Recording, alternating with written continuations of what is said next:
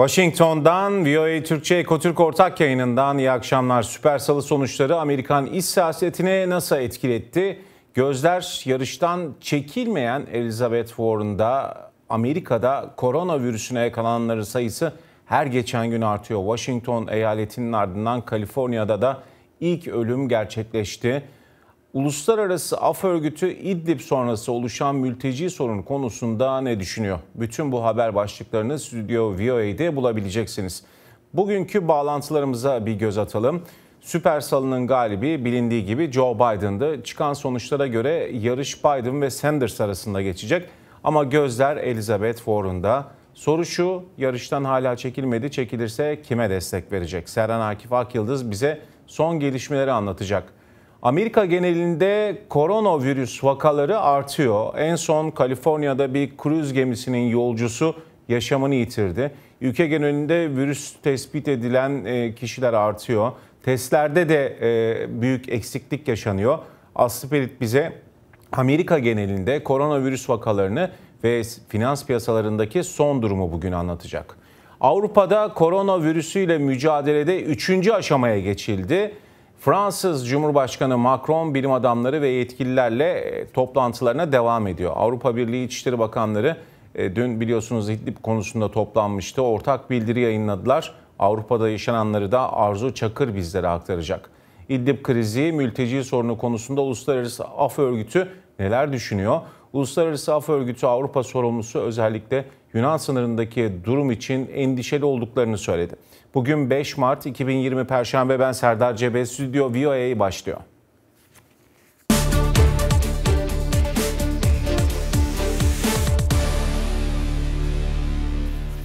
Amerika'da süper salı geride kaldı ama yankıları hala devam ediyor. Sonuçların netleşmesiyle Michael Bloomberg adaylıktan çekilip Joe Biden'a destek kararı almıştı. Şimdi bütün gözler Elizabeth Warren'da. Adaylıktan çekilecek mi? Çekilirse kime destek verecek? Hemen Serhan Akif Akyıldız'a soralım.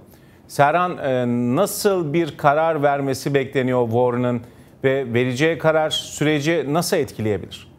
Serdar, Amerikan kamuoyu, Amerikan medyası Elizabeth Warren'ın büyük ihtimalle yarıştan çekileceğini bekliyor. Elizabeth Warren'ın seçim ekibinden yapılan açıklamada ise durumun değerlendirilmekte olduğu kaydediliyor. Elizabeth Warren e, hatırlayacaksın sürece başlarken, ön seçimler başlarken e, güçlü bir pozisyondaydı. İddialı isimlerden biri olarak adlandırılıyordu, nitelendiriliyordu. Ancak ön seçimlerde istediği başarıyı elde edemedi ilk 4 eyaletteki. Süper Salı onun için oldukça önemliydi. 14 eyalette birden yapılmıştı ön seçimler.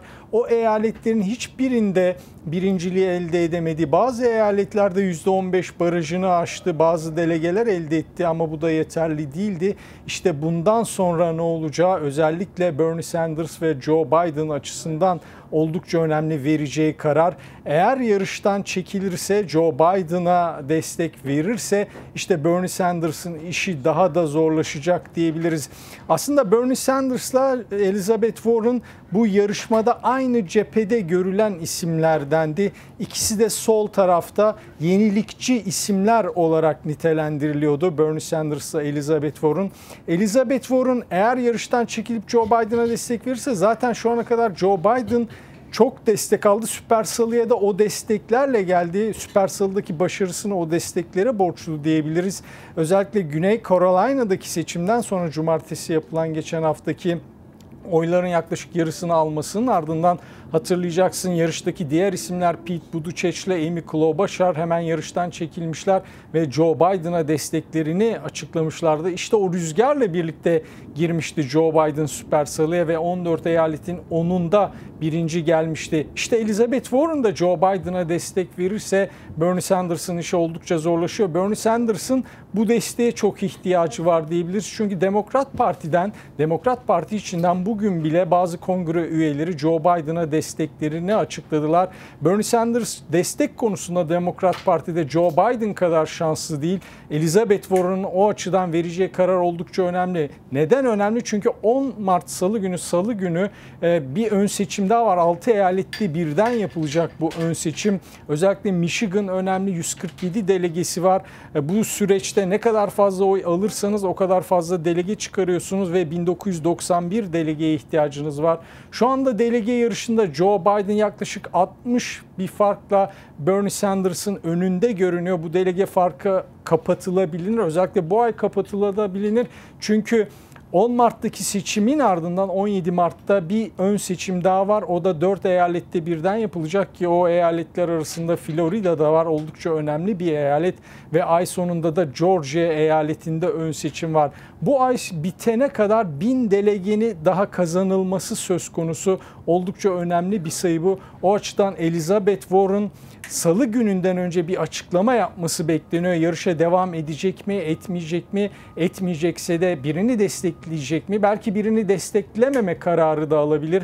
Ancak bu yine de Joe Biden'a yarar gibi görünüyor. Özellikle dün Michael Bloomberg'ün de yarıştan çekilmesiyle Eski New York Belediye Başkanı hatırlayacaksın.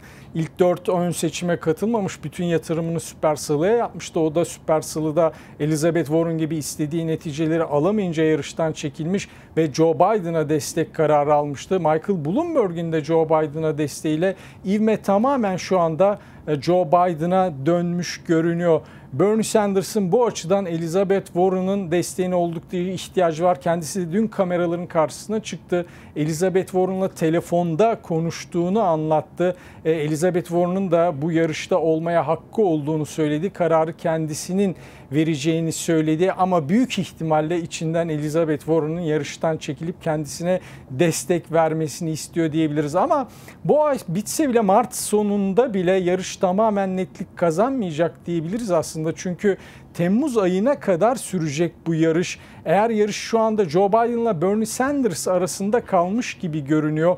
Resmiye olarak 4 kişi hala aday adayı diyelim ama yarış büyük ihtimal Joe Biden'la Bernie Sanders arasında geçecek artık.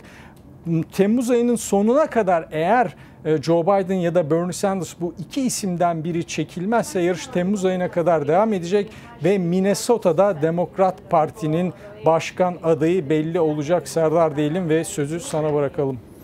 Amerika'nın önemli gündem maddelerinden birisi buydu. Demokratların adayı kim olacak? Seren Akif Akyıldız'a teşekkür ediyoruz. Tabii belki bundan biraz daha önemli gündem koronavirüsü salgını ve tüm dünyada etkili olmaya devam ediyor.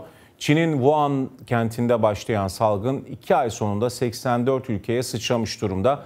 Amerika'da virüsü tespit edecek testlerde eksiklik var. Solunum cihazlarında da eksiklik var. Washington eyaletinin ardından Kaliforniya'da da ilk ölüm gerçekleşti. Aslı Pelit New York'tan karşımda. E, Aslı hem Amerika genelinde neler oluyor bize koronavirüsü vakaları ile ilgili son bilgiler neler aktaracaksın? Bir de New York'ta önemli. E, çok büyük nüfusa sahip New York'ta neler oluyor asıl onları aktarır mısın?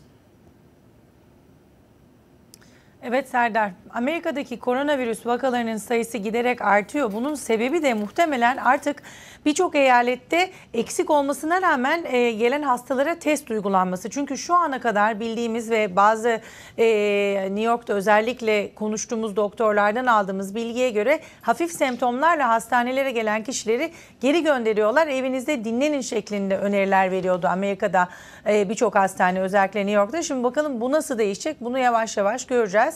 Amerika'da bugüne dek görülen toplam vaka sayısı 150'ye ulaşırken hastalık nedeniyle hayatını kaybedenlerin sayısı da yükseldi 11 oldu. Ve son olarak senin de söylediğin gibi e, Kaliforniya'da bir yolcu gemisi yolcusu eve döndükten e, iki hafta sonra e, kısa bir süre sonra koronavirüs yüzünden öldüğü açıklandı ve bu da Kaliforniya'nın ilk ölümü. Yani kısaca bir kişinin emeklilik rüyası cruise shiplerinde gezerek emeklilik günlerini geçirmek bir emeklilik kabusu haline dönmek üzere. Şimdilik Amerika'da 15 eyalette koronavirüs vakaları tespit edildi. Bununla beraber Amerika'da Temsilciler Meclisi bu salgınla mücadele için 8,3 milyar dolarlık acil harcama tasarısını onayladı. Bugün de bütçe senatoda onaylanması bekleniyor. Bundan sonra da eğer kabul edilirse ki kabul edilmesi %100 gözüyle bakılıyor. Başkan Trump'ın önünde imzaya gidecek bu e, miktarın tabii ki de gerekli Amerika gibi 200 küsur milyon nüfusu olan bir ülkede ki büyük bir salgına yetecek kadar test ve belki de e, araştırma yapılması için yeterli mi bunu bilemiyoruz ama en azından iyi bir başlangıç olarak görünüyor.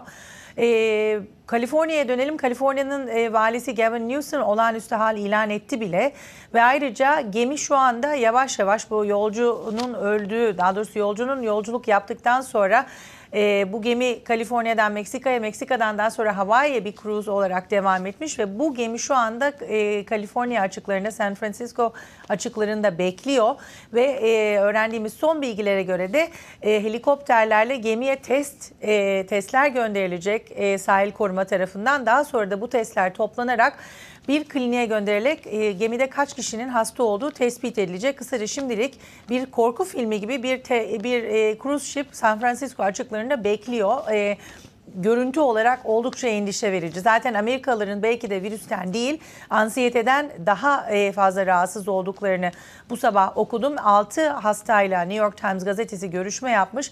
Evlerinde ölmeyi ölecek miyiz diye bekleyen hastalar da var teşhis konulduktan sonra. Özellikle yaşlı nüfus çok endişeli Amerika'da. New York'a dönelim. New York'ta e, vaka sayısı bu sabah itibariyle 13'e yükseldi ve size şunu göstermek istiyorum. E, yerel ve bedava olarak dağıtılan bazı gazeteler var. Bunlardan bir tanesi ve e, şehrin alarma geçtiğini söylüyor iki gündür. Vali ve belediye başkanı bir e, kriz merkezi açtılar ama ben bu valinin basın toplantısını dinledim. Valinin söylediği şuydu. E, biz birkaç tane e, test yaparak tabii ki de ne kadar çok test yaparsak o kadar çok hasta çıkacak dedi. Bence bu e, yorum e, belki basına yeterince yansıtılmaya yansıtılmıyor. Çünkü bu test eksikliğinin en büyük göstergesi. Eğer test yapılmazsa aslında New York'ta kaç kişinin hasta olduğunu bilmemize imkan yok. Şimdi Westchester'da New York'un hemen dışında tespit edilen 50 yaşlarındaki adam hastanede ve komada ve bu kişinin yaklaşık e, bin kişiye de virüsü bulaştırma tehlikesi olduğu söyleniyor. E, gittiği ilk hastaneden e, daha büyük bir hastaneye nakledildi ve çocuklarının gittiği iki okulda kapatıldı. Bir tanesi lise, bir tanesi üniversite. Vali Cuomo ve belediye başkanı kontrol altına aldıklarını söylüyorlar. Özellikle metroda temizlik önlemlerinin alındığı söyleniyor ama ben bu sabah metrodaydım ve Serdar gerçekten eğer New York'ta yayılırsa bu virüsün yayılması çok hızlı olabilir.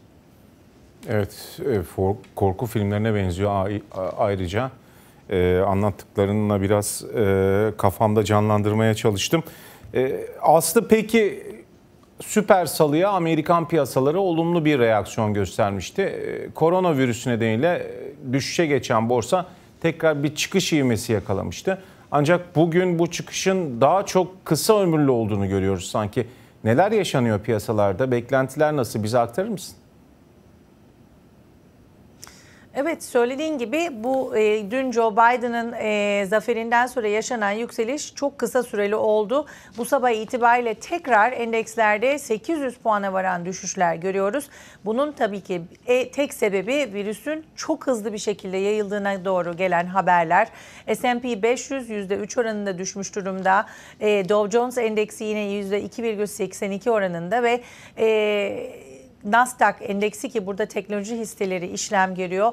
Dün aslında Nasdaq'ta bir e, hafif yükseliş görmüştük. Bunun sebebi de özellikle Apple gibi büyük teknoloji şirketlerine yedek parça üreten Çinli şirketlerin ay sonunda tekrar full faaliyete geçecekleri açıklanmıştı. Ama görünen o ki e, bu sabah yayılan haberler e, özellikle e, bir de şu notu eklemek istiyorum. Londra'da HSBC e, finans bankalarının en büyüğünün ofisinin kapatılması bir kişinin hasta olduğu belirtildi ve HSBC'nin bütün e, çalışanlarının evden çalışması önerildi. Bu yavaş yavaş bütün banka sektörüne, finans sektörüne yayılabilecek gibi görünüyor. Ayrıca Amazon mesela Seattle'da e, merkezi Seattle'da olan Amazon'un da e, işçilerine, çalışanlarına evden çalışma emri verildi.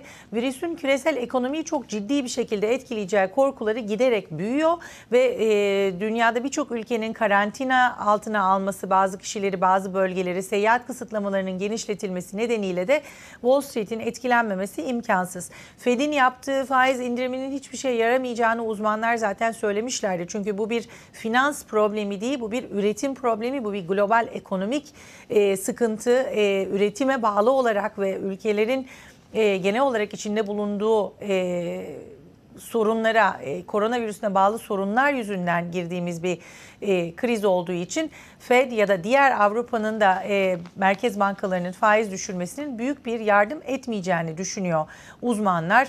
Peki kimler bu durumdan kar edecek? Tabii ki de sağlık sektörü ve altın. Altın fiyatları yükselmeye devam ediyor Serdar. Sene e, önümüzdeki şu anda zaten e, altının onsu 1683 dolardan 1653 dolardan işlem görüyor. Bunun 1800 dolara kadar çıkma şansı var ve sadece e, şahıslar değil merkez bankalarının da altına yöneldiği söyleniyor. Kısaca e, galiba artık daha fiziksel e, emtialara yönelecek e, piyasalar ve yatırımcılar. Evet kriz ortamlarının yıldızı altın zaten değerli madenler. Aslı'ya teşekkür ediyoruz. E, hemen Avrupa'ya geçelim. Avrupa'da koronavirüs vakalarındaki artış sonrasında virüsle mücadele konusunda 3. aşamaya geçildi.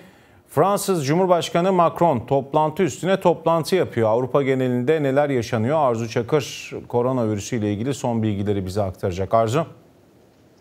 Serdar koronavirüsü İtalya'da 3. aşamada Fransa geçti geçiyor. Bugün her, bekliyoruz artık açıklamayı zira bugün Fransa'nın tüm bölgelerinde artık mikrop teş, teşhis edilmiş durumda. Bugün dünyanın 77 e, ülkesinde bu virüs var. 34'ü Avrupa ülkesi dolayısıyla 3. aşamaya aşama aşama virüsün yayılma hızıyla birlikte Avrupa'da da geçilecek. Fransa'da 377'ye yükseldi vakalar. Dün birdenbire arttı. 100'e yakın vaka tespit edildi. Bugün iki ölü haberi daha geldi. 6 ölüye yükseldi. Dolayısıyla fakat e, ölülerin yani bu virüsten yaşamını kaybedenlerin yaşları hala 60 ve üzeri 60 ila 85 arası. Dolayısıyla hala e, en bu virüsün en e, can alıcı kurbanları diyelim e, yaşlı grup.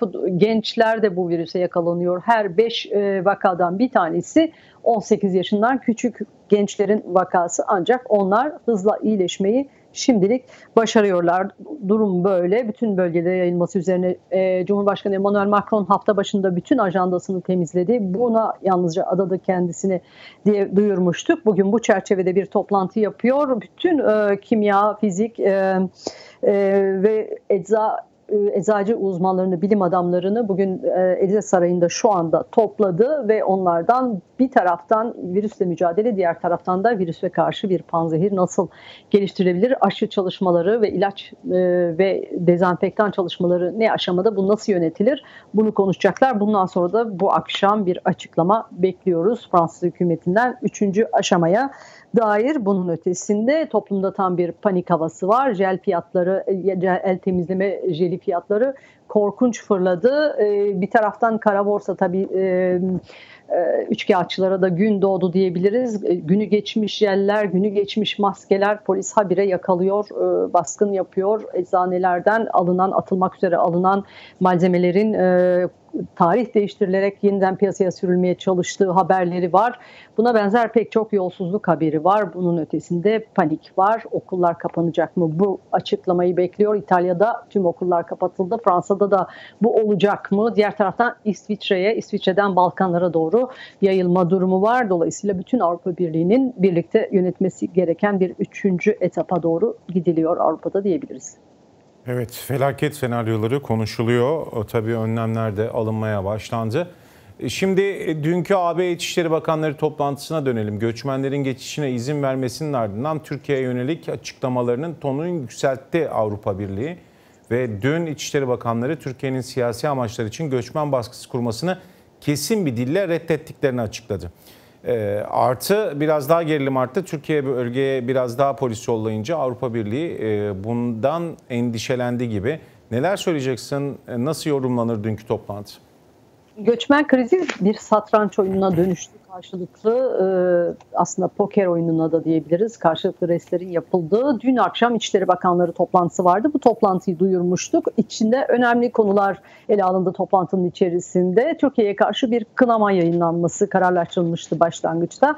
Ancak e, başta Avrupa Birliği e, komiseri İçişleri Komiseri e, Johansen'ın uyar, uyarısı geldi. Türkiye bir düşmanımız değil onlarla birlikte bu işi çözmek zorundayız şeklinde bir uyarıda bulundu. Türk pek çok sayıda Türk barındıran Alman İçişleri Bakanlığı e, topraklarında pek çok sayıda Türk bulunduran Alman Bakan e, Türkiye'ye karşı böyle bir ifadenin kullanılmasına karşı çıktı ve ilk deklarasyon, sonuç deklarasyonun ilk hali değiştirildi ve Türkiye'ye kınama değil sadece bu Avrupa Birliği'ne yönelik şantajları reddediyoruz ifadesi kullanıldı. Bundan sonra 3 bakan geldi Yunanistan'dan. E, Göç Bakanı, İçişleri Bakanı ve Devlet Bakanı 3 bakan gelerek durumu anlattılar. Bu göçmenlerin geçişine izin veremeyeceklerini, ekonomilerin bunu kaldıramayacağını dile getirdiler. Göçmenlere e, ateş edildiğine dair görüntüleri yalanladılar. Fransız hükümetinin yalanladığı gibi. Fakat Avrupa Birliği'nden yardım istediler. Yardımın ötesine dayanışma istediler. Avrupa Birliği 700 milyon euro e, gelen e, sığınmacıların sığınma taleplerinin değerlendirilmesi için yardım miktarı belirledi. 350 bin eurosu bunun hemen geçecek. E, ek ajan geçilecek ve dün söylemiştik e, Frontex noktaları güçlendirilecek. Frontex'te bugün gönderileceğini söylediğimiz gemiler Yunanistan'a ulaştı ve Ege Denizi'nden göçmen topluyorlar. Binlerce göçmen şu anda e, Frontex'e ait devriye gemilerinde bulunuyor ve bunları yeniden Türkiye'ye göndermeye çalışıyorlar. İşte bu gelişmelerin ardından Türkiye bugün bin tane özel tim polisini sınıra yığacağını duyurdu. İçişleri Bakanlığı duyurdu bunu. Geri gelen göçmenleri kabul etmemek için, geri itmek için sınırda gerekli güvenlik önlemlerini alacağını söyledi. Bu Avrupa'da neredeyse bir bomba etkisi yarattı diyebiliriz. Tam Avrupa Birliği Türkiye'ye meydan okuyup bu şantajı kabul etmiyoruz açıklamaları yaparken böyle bir açıklamanın gelmesi Avrupa Birliği'ne açık savaş ilanı olarak değerlendirildi. Pek çok e, sosyal medya üzerinden bazı muhalif politikacıların ağzından, bazı gazetecilerin ağzından da bu cevabın çok sert olduğu dile getirildi. Fakat Avrupa Birliği bu işi yatıştırmaya çalışıyor. Türkiye ile uzlaşmayla çözmeye çalışıyor. Joseph Borrell Ankara'daydı biliyorsunuz. Temaslarda bulunuyor ve e, özellikle bugün Moskova'dan gelecek haberler çerçevesinde İdlib'de bir çözüm sağlanabilirse göçmen e, krizi konusunda da Türkiye ile yeniden masaya oturmayı umut ediyor gözler Moskova'da diyebiliriz. Evet Arzu'ya teşekkür ediyoruz. Gözler gerçekten Trump, e, Putin, Erdoğan görüşmesinde Moskova'da iki konu hakkında hem koronavirüse hem de e, İdlib krizi sonrası yaşanan mülteci kriziyle ilgili Avrupa İçişleri Bakanları'nın toplantısından çıkan sonucu bize aktardı. Arzu Çakır. Devam edelim. İdlib krizi sonrasında yaşanan Türkiye'ye mülteci akını ve Türkiye'nin sınır kapılarını açması insani bir dramın yaşanmasına tabii ki sebep oluyor. Uluslararası Af Örgütü Avrupa Direktör Yardımcısı Massimo Moratti, Af Örgütü olarak Yunanistan sınırında yaşananlar nedeniyle endişeli olduklarını söyledi. Moratti ile VOA Türkçe Londra muhabiri Barış Çimen konuştu. Türkiye'nin Yunanistan sınırından gelen haberleri biliyorsunuz. Örgütünüz konuyu nasıl ele alıyor? How does your organization take the issue?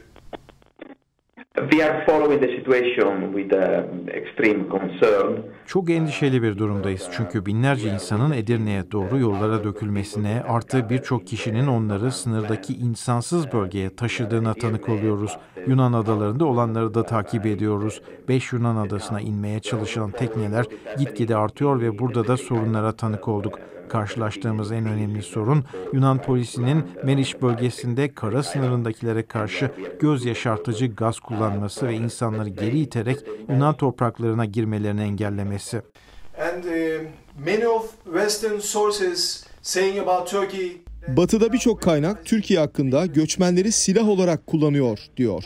Sizce bu konuda Türkiye ne yapmalı, ne yapmamalı?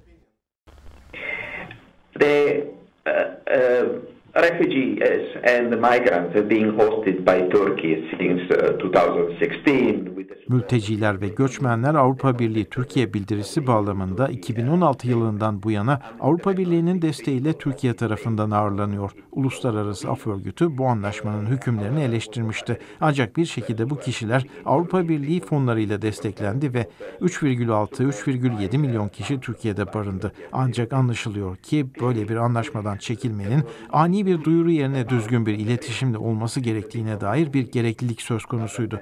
Bunun dışında Türkiye'de birçok göçmene anladığımız kadarıyla ücretsiz ulaşım hizmeti verildiğini ve sınırlara gitmeye devam ettiklerine tanık oluyoruz. Bunun dışında bu durumun nasıl olacağı, nasıl biteceği ve bilinmeyen bir noktaya gidilip gidilmediğini öğrenmeye devam ediyoruz. Sizce Türkiye sığınmacıları silah olarak kullanıyor mu?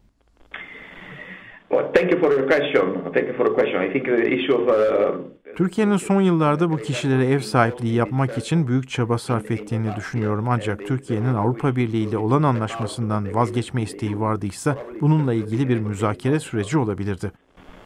And how long do you think Turkey should have done? Sizce Türkiye bu mülteci yükünü daha ne kadar taşıyabilirdi? it, uh, uh. Bu nihai hale gelmiş bir Avrupa Birliği Türkiye anlaşmasıydı. Dolayısıyla anlaşma yenileme ve sürekliliği sağlama ihtiyacına mecbur kaldı. Bu tarz bir anlaşmayı eleştirdiğimizi açıkça söyledik. Çünkü Suriye'deki durum hala istikrarsız. Bu yüzden tüm tarafları gelip çözüme birlikte ulaşmaya çağırdık ve özellikle Türkiye'den Avrupa'ya güvenli ve yasal göç yolları oluşturma çağrısı yaptık. Böyle bir çözüm ne kadar ideal olur ve sürdürülebilir yanıt vermesi zor. Çünkü Suriye'de neler olduğunu bilmiyoruz. Durum hala çok karmaşık ve Suriye'yi terk etmeye çalışan daha da fazla insan var ve güney sınırından Türkiye'ye girmeye çalışıyorlar. Bu da başka endişe verici bir konu.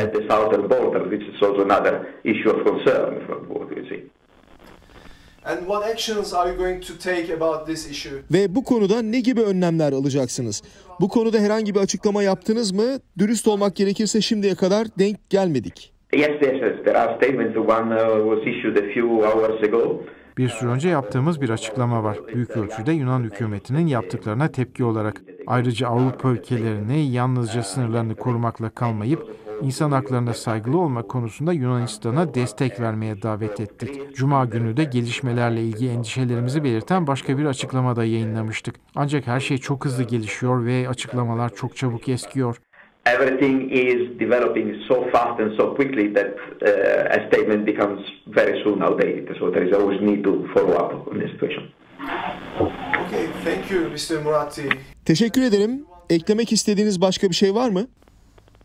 You're welcome. I think uh, it's important that you know. Uh, Bence hem Avrupa Birliği ülkelerinin hem de Türkiye'nin bu durumdan birlikte bir çözüm bulabilmesi önemli. Bu konuda sadece tek taraflı bir çözüm olamaz. Bir çıkış bulunmalı ve Avrupa Birliği'ne sığınma konusu güvenli ve yasal yollarla olmalıdır. Bu yüzden konu taraflar arasında kararlaştırılmalıdır. Evet, Washington'dan yaptığımız canlı yayının sonuna geldik. Gözler Moskova'da Putin-Erdoğan görüşmesinde.